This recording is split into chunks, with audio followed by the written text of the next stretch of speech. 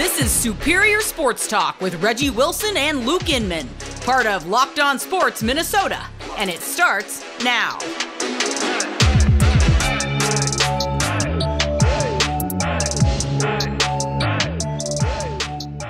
Back in the lab, Reggie and Luke back at it. Another episode of Superior Sports Talk presented by Locked On Sports Minnesota. What's happening, Reggie? Tuesday. Man. Happy Tuesday, man. Happy Tuesday.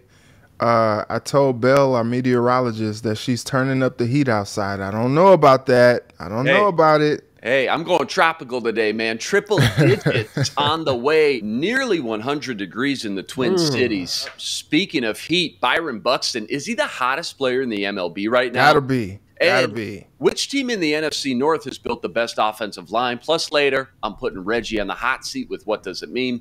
It's all coming up on Superior Sports Talk. But first, save time and money when using Rock Auto. Rock Auto is a family served business serving do it yourselfers like Reggie and I for over 20 years. Reliably low prices for every customer, from brake parts to tail lamps, even new carpet for your vehicle. Go to rockauto.com and see all the parts available for your car or truck. Right, locked on in their How Did You Hear About Us section so they know we sent you. That's rockauto.com. All right, we're exactly two months away from the Vikings' first football game when they take on the Las Vegas Raiders. First week of preseason, August 14th. This week, PFF released the rankings of all 32 NFL teams, specifically their offensive line rankings. And all of a sudden, watch out, the Detroit Lions have the third best offensive line in the league, according to the website. Packers right behind them with the fifth ranked blocking unit. The Vikings cracked the top 20 at least, landing at 19. And the Bears, well, they tried. Second to dead last at hmm. 31. Not what you want to see or hear when you're trying to develop Justin Fields, but we won't talk about that. Okay, so Vikings land in tier four of PFF's rankings under the at least one good tackle, referring to Brian O'Neill, who's been the rock and foundation of the unit.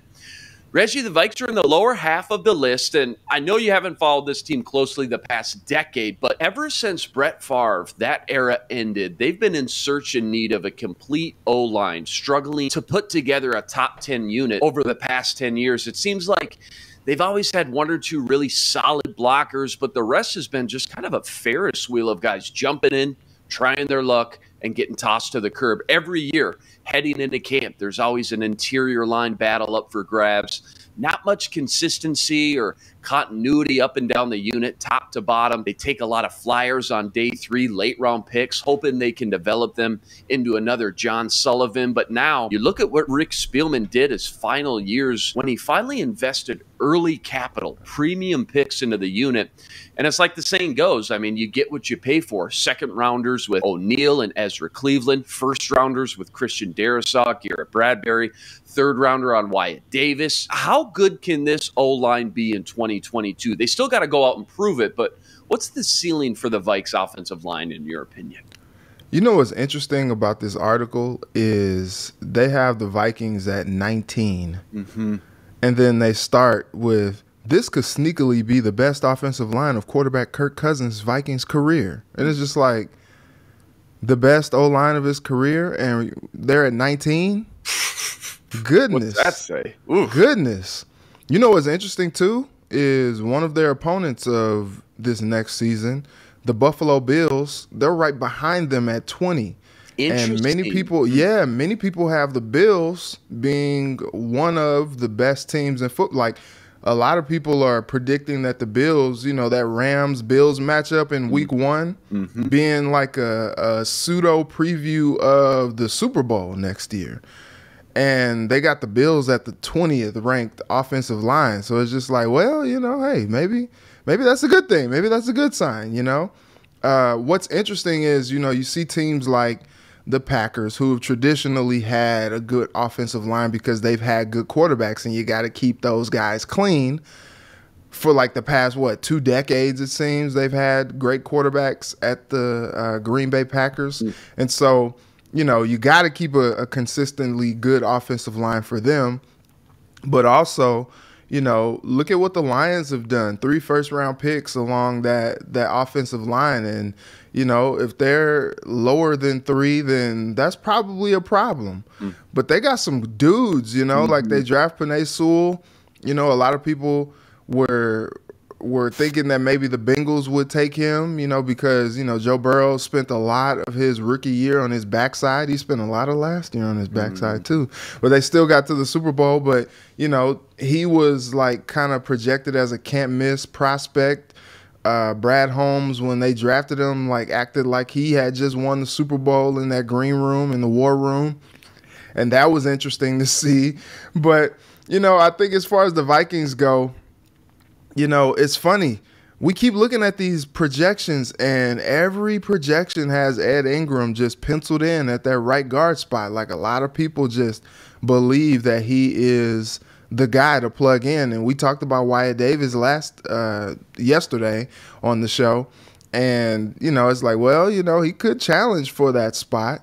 You know, he could also challenge for that left guard spot with Ezra uh, Cleveland there, and so I, I don't know. I, I think I think the the line should be much improved. You know, you got some guys on the line with something to prove, like Garrett Garrett Bradbury, who is you know kind of playing for a contract. He's like, okay, yeah, y'all aren't going to tender me, you know, fifth year option. Okay, all right, watch this. Mm-hmm. Going to be the best center play that you've ever seen centered. And then you know, Darrisaw expected to take a, a, a leap forward. You know, last year he talked a lot about, you know, hey, nobody's touching Kirk. Nobody's gonna touch him. And you know they played the the musical chairs with him and Rashod Hill for uh, a big part of the season last year, and now this is his job. And now we're going to see what he can do with a full off season, got some experience under his belt, and you hope to see as a Vikings fan him take that next step forward. And if he does, you got two bookends on the right and left side, and Kirk Cousins is going to feel really good dropping back, trying to, you know, find his guys all throughout the field, knowing that he's going to be protected on the outside. But then now you got to look at the inside with the guard play and the center play.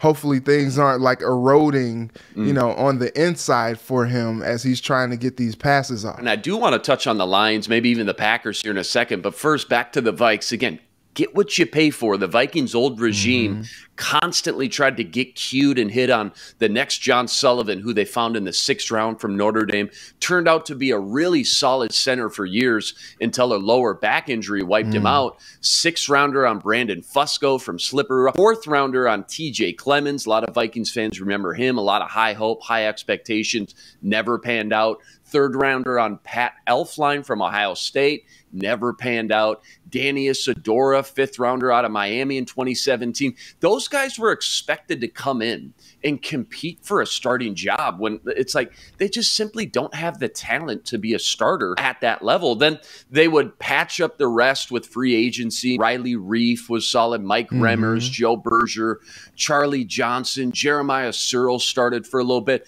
They finally learned their lesson though and used early picks, and it just feels like the potential of this young unit is the highest it's been in a long time. And that's important because when you got somebody like Kirk Cousins, as you mentioned, who lives and dies in the pocket, not a guy who's going to create plays with his feet, make things happen outside the pocket. He needs a clean pocket to step up into. Yeah. You better have the right guys and the right talent to get the job done. And that's why I think fans should be excited no matter who wins that right guard battle. Five guys with early round talent will be blocking in front of Cousins for the first time in over a decade. So, a lot to be excited about there. How about the rest of the NFC North? You mentioned the Lions. Mm-hmm. They've done something similar, going out and using not just early draft picks, but top 20, top 10 yeah. picks on their own line. Frank Ragnow, top 20 picks, stud yep. center, one of the best in the league. Penei Sewell, Taylor Decker, both top 10 guys. Those are like blue chip cornerstones to build around for a long time. Whether it's the Lions ranking third on PFF's list or the Packers or the Bears, what else sticks out to you on this list outside the Vikings in the NFC North? You know what's interesting is the Eagles they have at number one. Yeah, wow. The Eagles. And you know, it's pretty cool though that they do boast something like that because they do have, you know, this quarterback who is needing some time back there, gonna be mobile, you know, making some things happen. So, you know, those guys kind of have to hold their blocks a little bit longer than maybe a traditional drop back quarterback. And I think that's going to be very interesting because the Vikings are going to see this Eagles team in week two. And we've been talking so much about the Vikings defensive line and how they're going to be getting after it in this new front. And that's going to be a test for them coming up in week two. Like to see Za'Darius and Danielle going up against guys like Lane Johnson. You know, Jason Kelce's been just a rock back there for years and years. And I think that's going to be a really great chess match to see who who gets the better of who. But they're going to be rearing back coming after Jalen Hurts, and that's going to be a fun matchup in in week two. And you think about the Eagles too; they had two first-round picks, and they didn't use either of them on an offensive lineman. A lot yep. of people thought they would to try to replace Jason Kelce at minimum, but uh, they still rank number one on PFF's offensive line rankings. I have a hard time with the Packers at five because of exactly what we just talked about. You get what you pay for, but mm-hmm. the Packers are five on the list without using premium capital. Not one single first round pick on their O line. Couple late seconds in Elgton Jenkins and Josh Myers, but when you strike gold with a guy like David Bakhtiari in the fourth round, makes life a lot easier. Makes you wonder how much having an elite superstar quarterback like Aaron Rodgers has on the effectiveness and the output of the blocking up front. I mean, when you have a guy that can not only get rid of the ball so quickly, but with deadly accuracy, it just makes the job up front night and day easier. Mm-hmm. If there was one O lineman you could steal from another NFC North team, swap them out with the current starter, who you taking? Ooh, ooh, this is good, man. Mm-hmm. Okay.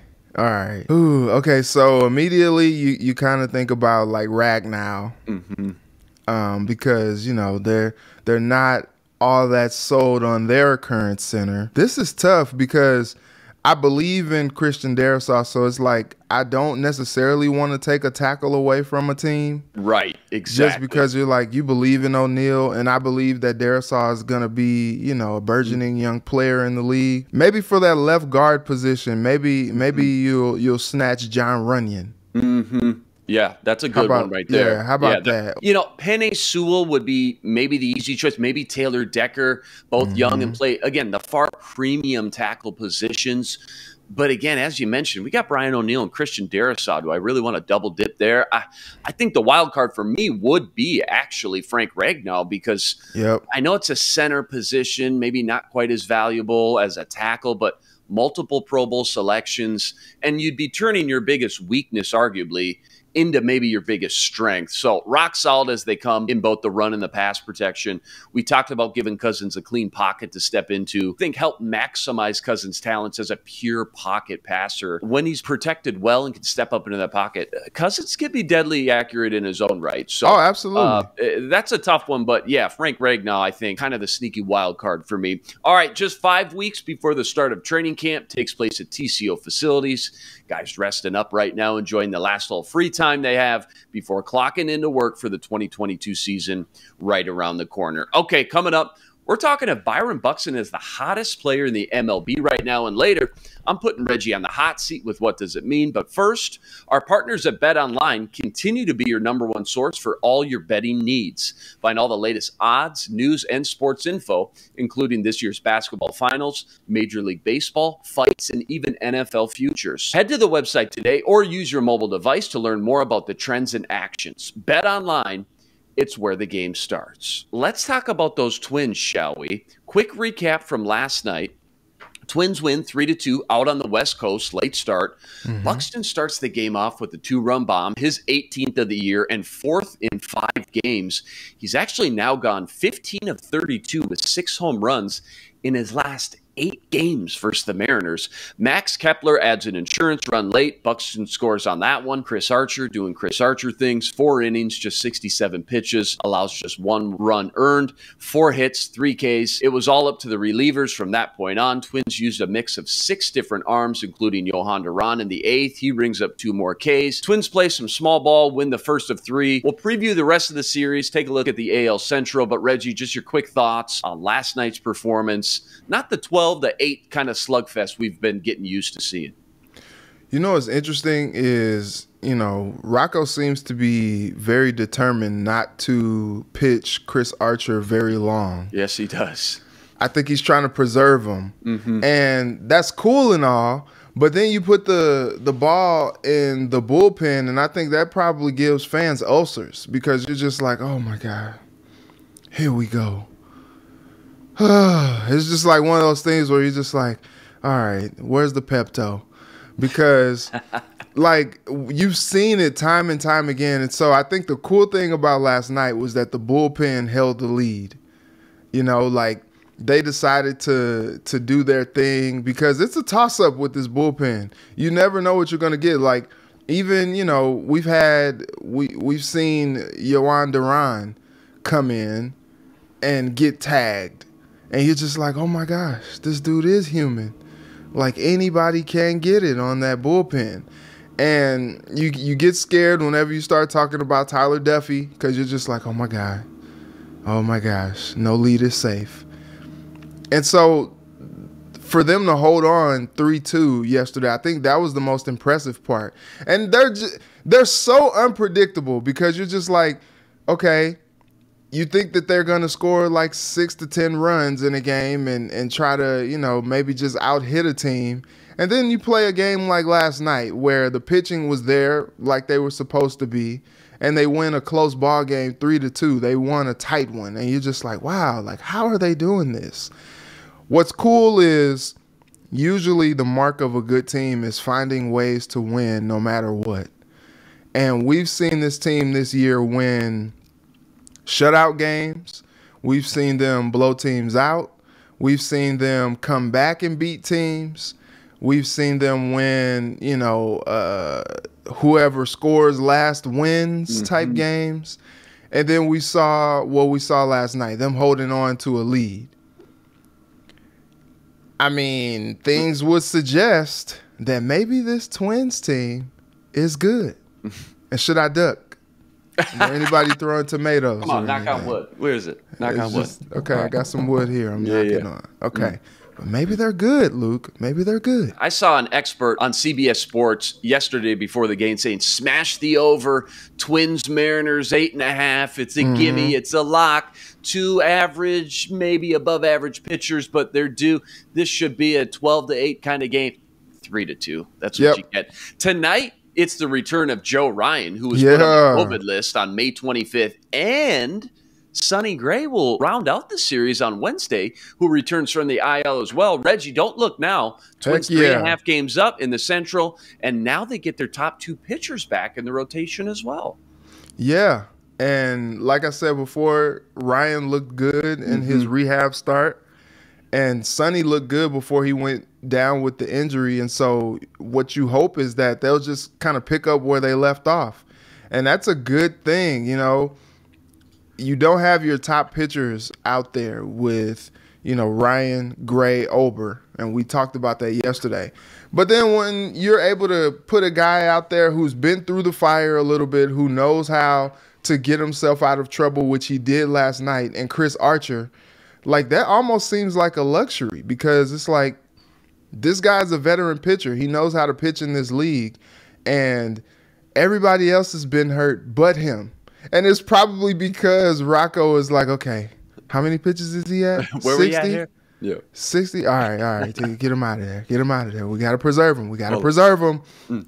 And I, I, saw article too just talking about how um, Archer kind of struggled with some hip type issues. Mm. And now you know he's been doing pilates and that's really kind of helped him and now you know the velocity is up and you know his control is better than it's been in recent years and he attributes a lot of that to doing yoga and Pilates. And so I'm like, look, hey, whatever works, whatever what? keeps you out there, you know. But what's funny is, and what the cool thing about getting some reinforcements back, Joe Ryan is coming back, Sonny Gray is coming back, and it looks like the White Sox are imploding. Mm-hmm. There was a clip going on, going around on Twitter yesterday with Lance Lynn and one of the coaches just going the freak at it like just going at each other, getting into it. Lance Lynn was not happy. Heated up. Yeah. You, you got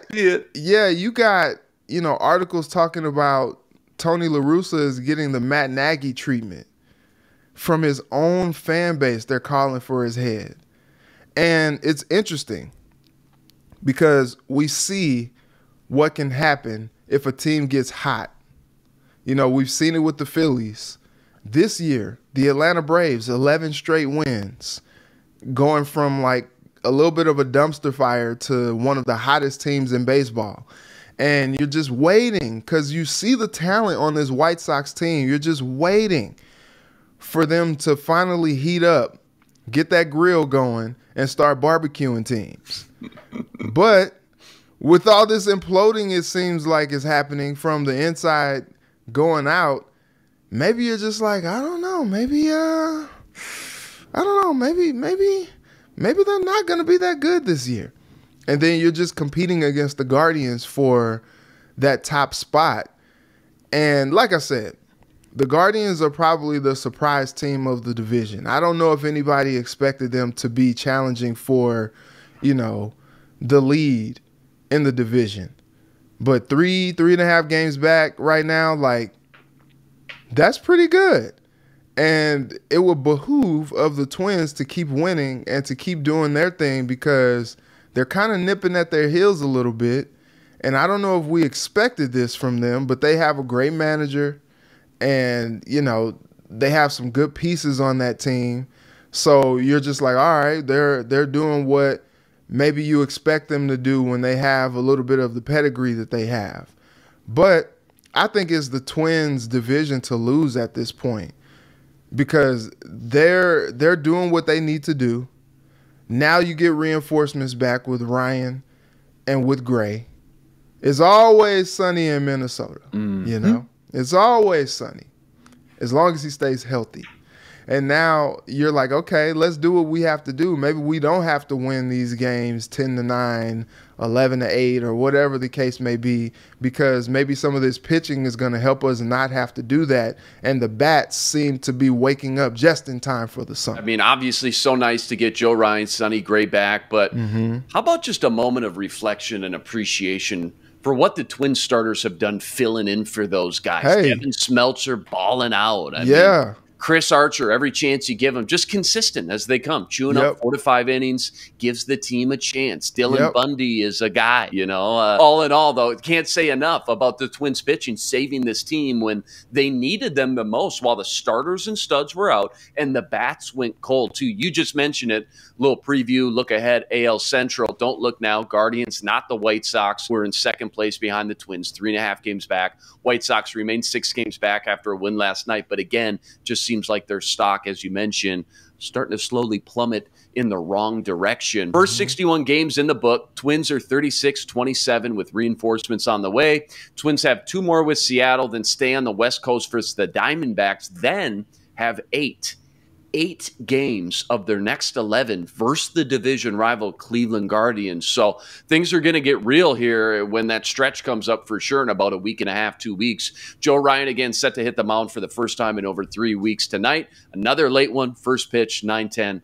Rest assured, Reggie and I will be back here tomorrow to break all that action down. All right, the time has come. My favorite segments here. I'm putting Reggie on the hot seat with What Does It Mean, covering all the latest hot topics in Minnesota sports. First up, the Golden State Warriors win up three games to two over the Boston Celtics with a 104 94 win last night. What does it mean for the Celtics' chance to survive and bounce back in game six, knowing what we know about the resilience and just the bounce back ability of this Celtics team? You know what's crazy is watching these last two games and the Warriors do what they do. Mm-hmm. You know, Steph go off, goes off in game four, but then all of a sudden, what's going on with Steph in Game Five? Oof. You're just like, you you don't hit a three, Bucko? Like streak was broke last yeah, night. Yeah, like that was weird. That was weird. Mm-hmm. And you know what's interesting is the Warriors are just winning off pure just like pedigree. I feel like for sure because I don't think anybody looks at this series and they're just like the Warriors are clear, you know, far and away the better team. I don't think anybody looks at this series like that. Boston I think is the more the more talented team. But goodness gracious, if they just can't hold on to the ball, man. Mm. So many turnovers, so many just dumb plays out there, and you just want to attribute it to their youth. But like, man, they've been around for a while now. Like they've been contending in the playoffs for a while. And you would think that they would learn from their mistakes and now, you know, with all that they've been through in the playoffs this year alone, they've they've kind of proven their mettle. But it's just like, yo, like you see the talent there. And I think like if you're a Golden State fan, you're just like, "Oh my god, oh my god, can we just go ahead and just go ahead and win this thing like let's just let's just snatch it. Like let's let's just try to get it. Don't keep, we don't want them to yeah put it away we, now. Yeah, put it away because we don't want Boston to really like mm-hmm. actually see who they are mm. and what they are, which is a really good team. That being said, I think going back to Boston for game six, I think Boston is going to win. Let me put on my Charles Barkley hat. Listen, listen, listen. listen. Terrible, terrible. Listen, the, the Boston Celtics had to be about the most dumbest team I ever seen. but but listen, listen. But first of all, first of all, I think game six guarantee it. The Boston Celtics, the Boston Celtics, I think are gonna win. We deserve seven games in this series. And maybe just for my own selfish desire, because after this, we don't get NBA for three, four months. So I'm selfishly picking the Celtics to win game six. I think they're going to bounce back because they've been resilient. And also, you, you've just kind of seen the Warriors pull away, whether it's the third or the fourth. Last night, that bucket from Poole Party, mm. Jordan Poole knocks in that third quarter buzzer beater. And that seemed to just take the momentum all the way into the fourth quarter. And the Warriors just kind of surged and, and did their thing because the Celtics had an unreal third quarter. I think it was something like they made like eight straight threes or something like that. It was yeah, ridiculous. outscored them 35-24. I mean, yeah. 11 point lead and in, then, the, in the third. Yeah. But the Warriors stuck close. Mm-hmm. They weren't able to, you know, get avalanched, and they were able to stick close. And then Poole sinks that three at the buzzer, and that just seemed to do something for them. And they just cooked them. You know, Clay, freaking Andrew Wiggins, man. All the all the the Wolves fans are just like, man, don't do man, it. Don't do it, Reggie. Man, but you know, I think the change of scenery was good, and the the motivation that he gets from those guys around him because they need him to be great, so they keep pushing him to be great and to realize his potential. That's important, man. When he slammed home that dunk, that was kind of like the dagger. And then Clay hit the three. That was even more of a dagger. He's just like, all right, well, thanks for coming, Boston. But like I said, I think when they go back to Boston, they win and then we come back to Golden State for game seven. And then it's whoever you got at that point. It's vibes Here's, at that point. I got a little sneaky wild card question for you here. All Andrew right. Wiggins, you mentioned him, led the team last night, 43 points, led the team with a double double, 26 points. Steph Curry, ice cold from 3, 0 of 9, snaps his 223 game streak of mm-hmm. hitting at least one three pointer. You think Andrew Wiggins has a chance, if the Warriors go on to win this thing, to be the MVP of the finals, not Steph Curry? Let me just, I'm going to look into the camera. Zoom in. Give us a nice zoom in shot.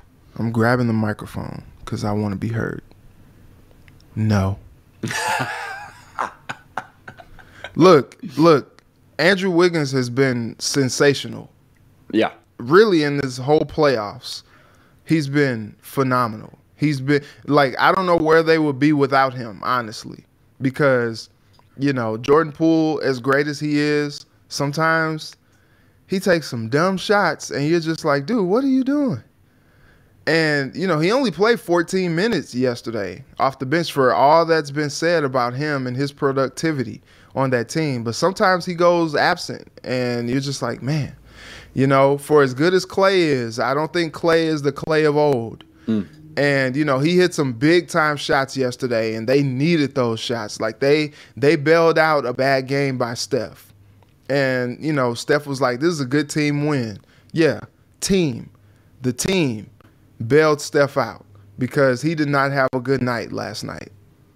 But that being said, the opportunities that Wiggins gets is because of the spacing on the floor due to guys like Steph and guys like Clay being out there. Because last night, I don't think I saw a wide open three from Steph at all. They were all contested. They made an, an extra push to be all up in Steph's grill last night. He was smothered for most of the night, where he was just trying to get up there and just jack up shots and just try to will himself into a rhythm because he was getting nothing easy yesterday. But you know who was kind of getting some easy shots? I saw a few wide open shots. Andrew Wiggins didn't make any of his threes, but he had some wide open threes and he had some wide open lanes to go through because guys like Steph Curry is on the floor and they are determined not to let him beat you like more than once. And so Wiggins gets a lot of opportunities. So just by virtue of having the best player out there on the floor, Wiggins is getting these opportunities and he's making the most of them. So don't take anything away from him. But come on, man. Steph, it's Steph. He has one more good game in this series, and it's his finals MVP. It has to be. 2015, remember, Warriors beat LeBron, and Andrew Iguodala kind of snuck over LeBron and Steph Curry, who won the MVP that year, to win the finals MVP. Last night, Steph goes 0 for 9 from 3. Wiggins goes 0 Man. for 6, still led the team, 26 points. Uh, Porter and Green both go 0 for 2. They shot nine of 40. Thank goodness for Klay Thompson. He went five of 11 from three. Yeah, man. 22% from three point land, and you still get the dub.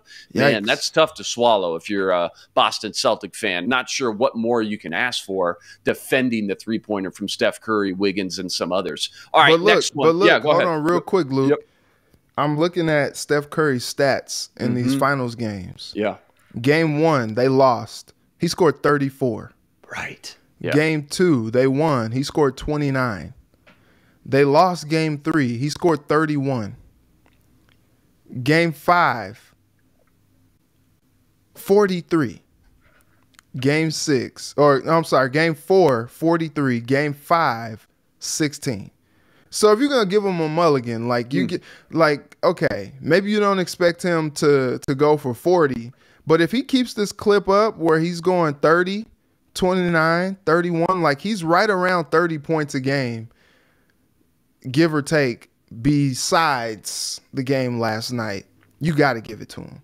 I'm sure there's some whispers, maybe Wiggins. Could kind of fun to talk about, but odds on favorite has to be smash Steph Curry if the Warriors do indeed go on to win this game six Thursday night, 8 p.m. TNT. Last one, what does it mean? ESPN's latest mock draft has the T Wolves selecting Ohio State power forward EJ Liddell for need, but says Kansas small forward Agbaji could be the pick if Tim Connelly is drafting for best available. What does it mean for the Wolves draft game plan when choosing to draft the bigger pressing need versus just the best overall player available? We talk about the draft a lot. Mm-hmm. And what's the thing that we say all the time? Best available. Don't Best get cute. Don't yeah. get cute. You look back in two, three years, the roster's changed up. It just take the best player available. Best player available. And look, if it's the Kansas guy, fine. But you know what we saw a lot from the Wolves last year is there were just times where the shooting just wasn't there. And I think that was kind of tough to swallow you know, especially seeing them in the playoffs where, you know, they would get out to these big leads and then they wouldn't be able to sustain them because when the chips were down, when the game slowed down, you needed somebody to go out there and get you a bucket, and nobody was able to really do that consistently. What's tough is EJ Liddell, love the guy to death. We went to the same high school. Fun fact. Mm. I always say that whenever I talk about EJ Liddell. Two time Illinois Mr. Basketball. So butterfly effect, you could say, had you not gone to that high school, maybe EJ Liddell would not be the EJ Liddell we know today. That's how it works, Reggie. Uh, no, I'm not saying that at all. No, no, no. All right. But he led my high school to back to back state championships, and that was something that we hadn't ever done before, which was really cool, mm.